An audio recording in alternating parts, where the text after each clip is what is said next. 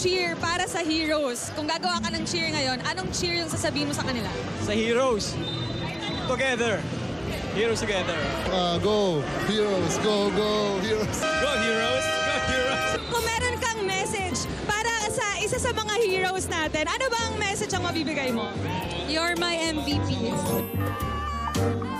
Let's go heroes! Let's go heroes! Honestly, this is such a good game kasi grabe yung score as in palaging tie, tie, catching up to each other. Meron akong dare sa'yo.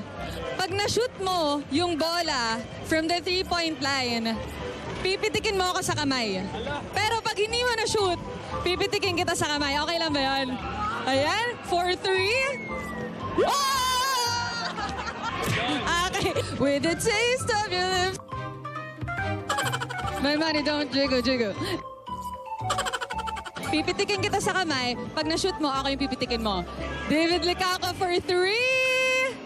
Ah, mintes! Pitek, alright. Bubuka ang bulaklak, sasayaw ang reyna.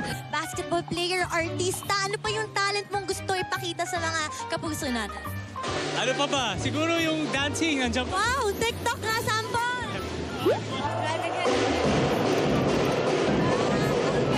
Gusto naming tanongin, may iba ka pa ba diyang talent na hindi mo pa napapakita sa amin? Baby, baby, you're my sun and moon. May pick-up line ka ba dyan?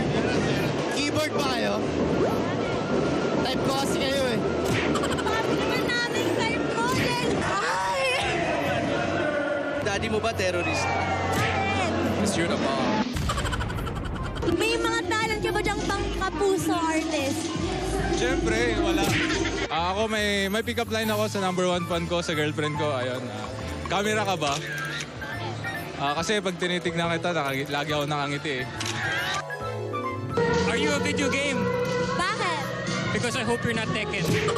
MVP ka na! Anong pakiramdam? Ah, syempre, swerte lang din na yung mga shots ko pumasok. Pero, you know, ending naman, win, lose, MVP or no MVP, I think it's a big success for the whole Synergy and GMA Network na nakagawa tayo ng event like this.